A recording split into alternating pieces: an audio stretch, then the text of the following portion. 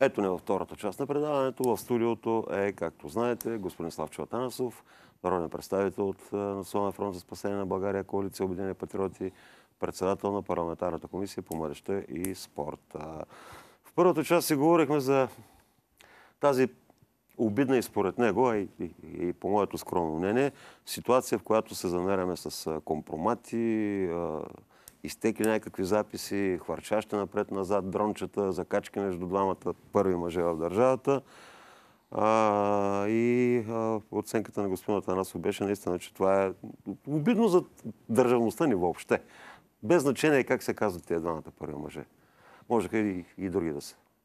А, но извода накрая беше, че нападът е сега да накарат Борисов да се изпусне нервите и да То тръгне е на целта. пресрочни избори. Да, да отидем на предсрочни Защото избори. са засегнати много интереси на много олигарси. Сега ще си поговорим за интереси на олигарси.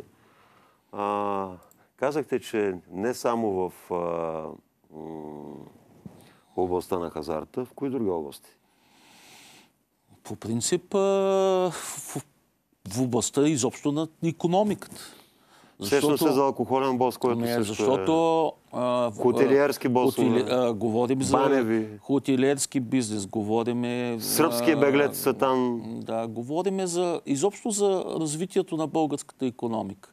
За жалост, годините на прехода, тези близо 30 години на прехода, едирият бизнес обикновенно има много безспорно сенчез двор.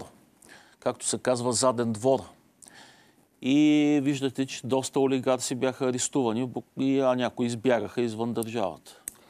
Така, за хазартната зависимост специално, както колегите я изписаха, а, вие от НФСБ и конкретно Валери Симонов, още в качеството му на вице-премьер, води дълга битка. Излишно е да припомня на нашите зрители, че още през 2018, през пролета, а, предложихте законопроект по негова инициатива за ограничаване на рекламата и разпространението на, на хазарта. Той е мекия, те наречения мек хазарт, който беше зарибил половината нация, ако не и цялата. А, тогава го смачках, нали така? Така беше. С мощни медийни кампании, пак компромати, пак из, думички извадени от контекста. Да, може и той направи някакви изказвания, които не, не, не бяха а, така, не екзактни, така да се каже. Но истината е, че го смачках. Дойде време обаче и нещата лъснаха, обърнаха се. Сега господин Бошков е Да, да. Е изгнаник в топлите страни. Отлетя и той, но той през зимата отлетя за топлите страни, не като штъркелите. А, и сега за пролети се дойде лято, не ще е да се върне от топлите страни, там стои и пуска безценни указания. В същото време, хайде да видим какво се получава на хазартния фронт. Вие продължавате ли искате ограничаване на хазарта? Да, ама. Репортаж, колеги. Парламентарната комисия по въпросите на децата, младеща и спорта не подкрепи на първо четене предложението на Валери Симеонов за казина само в големите курорти, пограничните райони и петзвездни хотели. Председателят на комисията Славчо Танасов обаче защити Симеонов. Според Световната здравна организация и всички други здравни организации, тези хора, които играят хазарт, се пристрастяват. И това е, забележете, според специалисти, лекари, не го казвам аз, а според специали, специалисти, лекари, тук са единодушни на 100%, това е болесно състояние. То е като наркоманията. По време на изслушването в комисия Симеонов изнесе факти, че забраната на частните лотарии е донесла до момента няколко милиона лева и е време да се направи следващата голяма крачка за ограничаване на хазарта.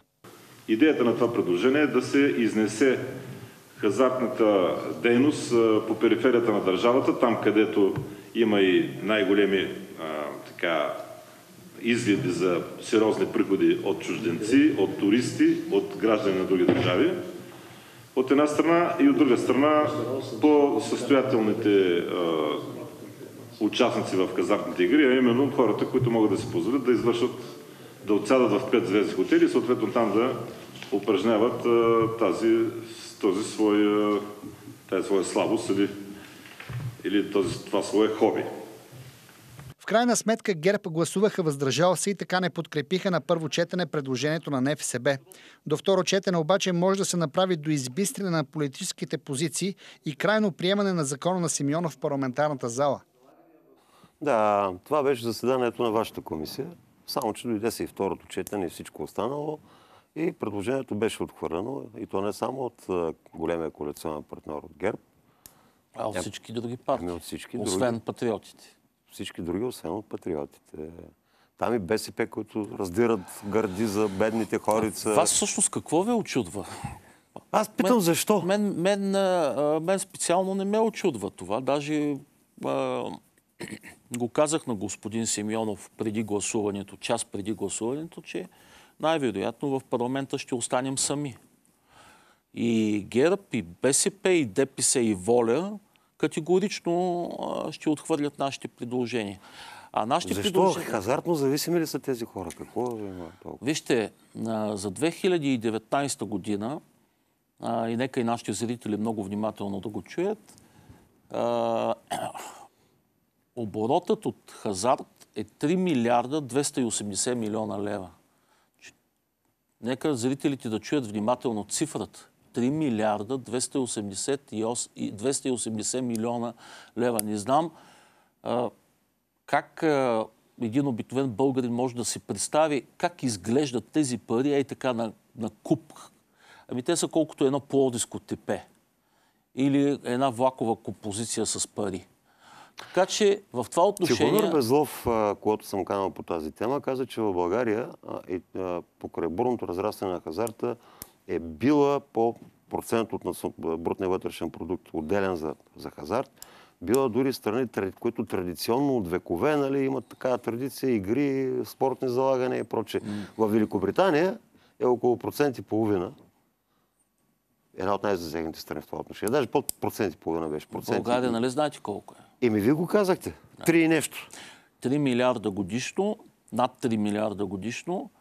И вижте, ние не сме а, а, наивници на средна възраст. Говоря народните представители от а, патриотичните формации, от Обединени патриоти.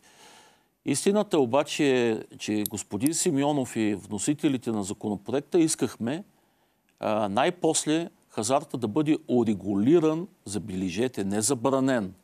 Олигориран, както е в а, другите държави, където е разрешен. Защото половината свят, господин Иванов, хазарта е забранен. И да ни бъда голословен, ще дам пример с а, нашата близка съседка Турция. Абсолютно забранено да се играе хазарт. Израел е същото. Бразилия е същото. И така нататък. Но много е интересно в държавите, ние всъщност и откриваме топлата вода наново. С нашия законопроект, който беше отхвърлен преди два дни, ние всъщност на практика искахме да стане така, както е в държавите, където се играе хазарт и там много, има много ясни правила. И така, много ми е, само да, може би да ми дадете минутка, защото ще бъде интересно на зрителите. А, например, Монако, защо давам пример с княжество Монако? То е много важно в а, хазартния пъзел. Княжество Монако е с най-старото казино в света. Той се води като, как да ви кажа, сг- сграда на културата и така нататък, а, културна историческа ценност и много туристи не отиват да играят хазарт. Там просто отиват да разгледат самата сграда, която е наистина културна, културна историческа ценност. Но знаете ли колко е интересен факта с жителите, забележете, гражданите на Монако? На гражданите на Монако, които са на княжеството поданици, е не само забранено да играят хазарт в Монако. На тях им е забранено дори да влизат в казина и игрални зали. За разлика от туристите, които имат право да просто да го разгледат, а не да. Онзи принц Рение в 19 век, който е развил а, това а, а, нещо хазарта, като източник, защото тогава Монако е било адски бедно. Изключително. Тя е една скала. Монако е една скала и така едно така пристанище. Та който го е развил тогава това нещо, за да печели пари, се е казал, да, не, аз пък неща, моите поданици да станат хазартно Комарджи. зависими. Да и комарджи, и, и им е забранил. И, и нещо друго, просто за Мъдър да, принц е бил. ами да, за, да завърша, защото е интересно. Хайде, жителите на Монако са си жители на Монако, но забележете, прин, на принца на Монако е забранено да играе хазарт в Монако и да влиза, повтарям, да влиза дори в зали, където се играе хазарт. На принца на Монако. В същото време, хайде да отидем в... Тоест, онзи принц на себе се е забранил тогава, някъде в началото на Да, 19 точно век. така, да. Хайде Умен да, принц. хайде да продължим с една друга държава, ко- която като я чуеш, веднага гледали сме много филми, чели сме много книги по този въпрос. Съединените Американски щати, прословутият Лас Вегас, който между другото, знаете, Лас Вегас е създаден от американската мафия. Това е исторически факт. От а, Лъки Лучано, Ла, Май, а, Лайн, Лански и цялата там върхушка бандити тогава в Америка. Защо толкова бързо се разраства Лос-Анджелес? А, Лос-Анджелес, а, на- Лас Вегас говоря. Ще ви обясна. А, Те го правят в пустинята, защото тогава американските власти им забраняват да го правят в големи градове. На практика те създават град, град в пустинята. Защото именно защото американското правителство им забранява да правят хазартни, а, хазартни зали в големите американски градове. И те го правят, знаете, Лас Вегас е насред пустинята на 400 км от Лос-Анджелес. И да продължа. А, интересното е, че Америка, като си представим Лас Вегас, Америка има само 4 зони, 4 щата, в които е, хазарът е позволен. От, 4, от 51 щата. Като, като прибавим и Пуерто Рико, който се води американски щат вече.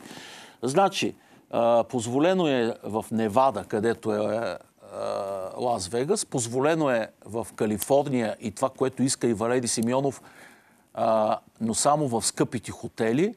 Позволено е в Атлантик Сити, но повтарям пак само в скъпите хотели. А, и тук ще ви кажа една, един много интересен факт. Ние, България, в момента сме на първо място, забележете, в света по глава на населението. Ние, България, важно е да го чуят зрителите, сме на първо място по брой на, по брой на хазартни а, зали и а, на казина. 878 имаме игрални зали за хазарт и 27 казина. Дори има села, в които има зала за, а, зала за хазарт, а няма библиотека и аптека. И аптека. И аптека няма, да. Е, Факти за, какво са на хората лекарства? Те... И ще ви дам пример. Като влязат в тази зала, ще се излекуват Вие, ми да, вие ме подсетихте, казахте добре, защо така се получи в парламента. Просто хазартното лоби е изключително силно. Това е. А, директен въпрос да ви задам. А, имаше обаче, аз ги следя, прочетвах ги, а, вълнение на различни отбори, особено футболни отбори, че ако законопроектът мине, този за ограничаване на местата, където може да се играе а, хазарт, до курортите и край, а, край граничните зони и петзвездните хотели, те ще трябва да закрият много от своите зали и няма да могат да спонсорират футболните клубове. Дори от един пловдивски клуб четох такова възвание. Според мен, според мен това е присилено изказване, защото а, самото финансово министерство каза, че ако нашия закон- за- законопроект мине, около 60 милиона ще е така, това аз даже ние наричам дупка в бюджета, защото при 100 милиарда бюджет, 60 милиона е, нали се сещате, несериозна цифра толкова голяма. И те, ако не ги изхарчат, извинете ме за хазарт, ще ги изхарчат за нещо друго и, и парите пак ще влязат в бюджета. същото, същото време... От ДДС и В данъци. същото време, самия закон за хазарта, който в момента е действащия, буквалният смисъл на думата не се спазва. И веднага ви давам един пример, който наистина е фрапиращ. Аз се бях изкарал на, така, на едно листче, само в София колко са нарушенията на този закон. А, Стига до парламента има на... няма и 100 но метра. веднага, но веднага по мое време ме имаше. изпреварихте. Не, имаше да знам. А, веднага ще дам пример на нашите зрители.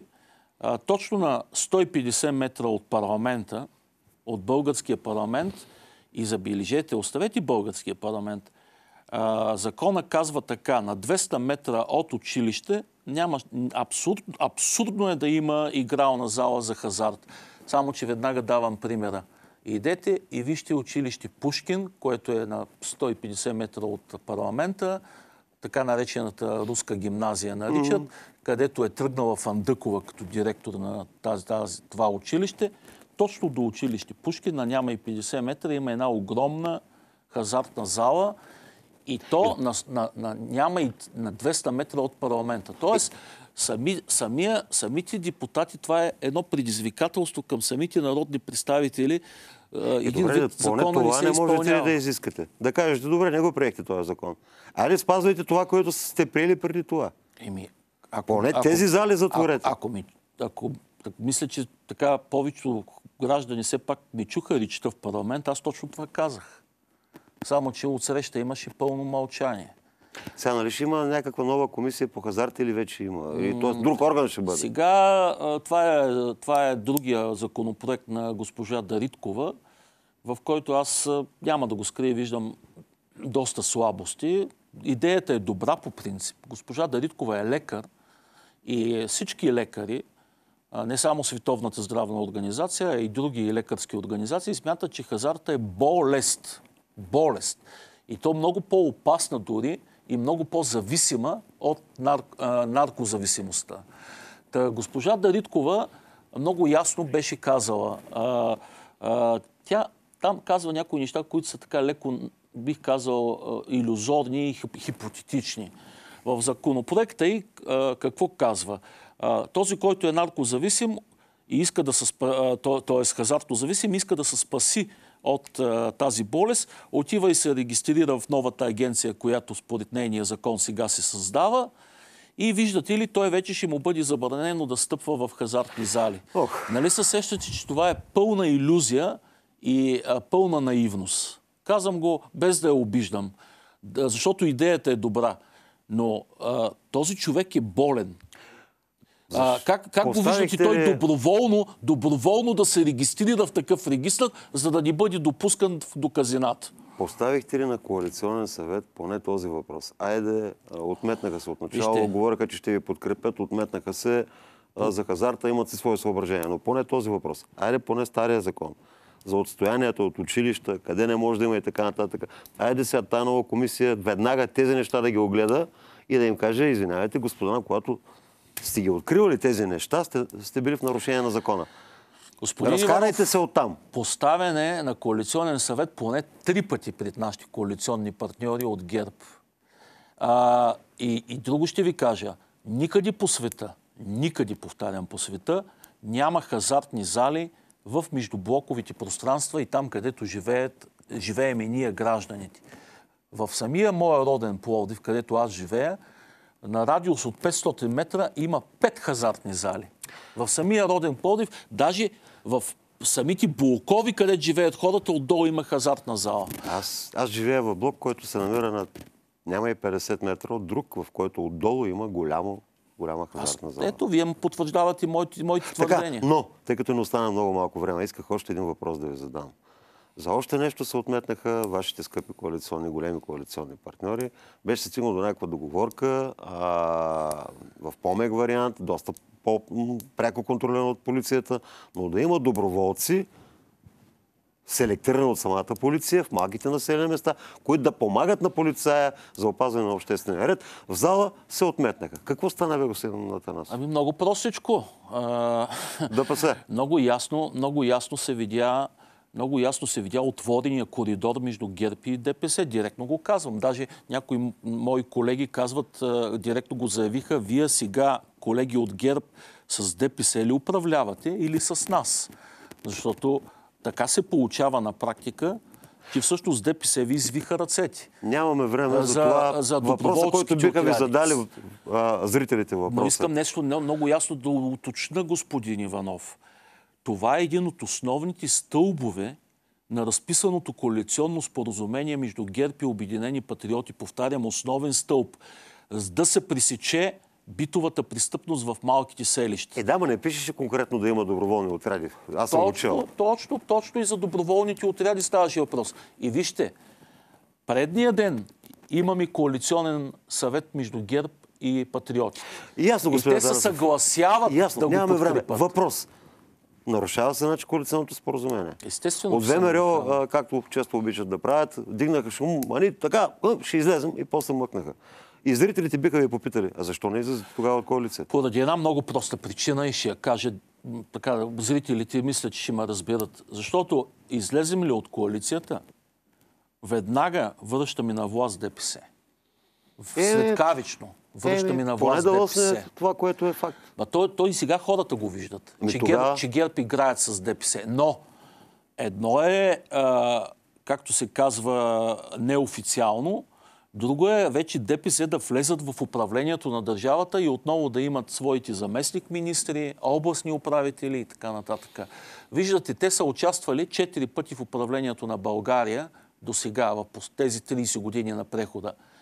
И четирите пъти, когато са участвали в управлението на държавата, тя е стигала до катастрофа. До катастрофа. Основно с, Деп... с БСП са участвали. Така, добре. А и от друга страна пък предсрочни избори наистина в този момент наистина може би е вариант, който не е добър за хората в България. Включително не, тези, не. които никак не харесват Той, сегашното той не е управление. добър за никой. Той не е добър за държавността, Добре. не е добър за хората и не е добър за нашите европартньори, защото ние най- най-лошото политиката, господин Иванов, е да даваш, да даваш а, как да кажа, а, погрешни послания, да даваш грешни послания. Не е добър, добре за нашите коалици... нашите Политическа коалиционни криза, служебен кабинет, избори по време на економическа криза, предизвикана от а, а, коронавируса и то даже не толкова вътре, вътре в нашата економика, а от факта, че външни партньори са, а, нали, поръчките и, и така нататък намалиха, наистина е лош вариант. И аз така си мисля. Само заради това да ви кажа... Не знам. Пожелавам да ви кажа- успех, господин Атанасов. Разумно звучите. а, Разбирам ви. Надявам се, че и зрителите го разбират. Ами, за жалост, господин Иванов, и с това ще приключа. Китайците имат една мъдра приказка. Не случайно ги наричат под небесната империя. Китайците имат една мъдра приказка. Те казват да имаш проклятието да живееш в интересни времена. Е, в интересни времена живеем, господин Иванов. С тези думи на Славчо Атанасов приключваме предаването. Благодаря, че ни гледахте. Останете с програмата на Ската.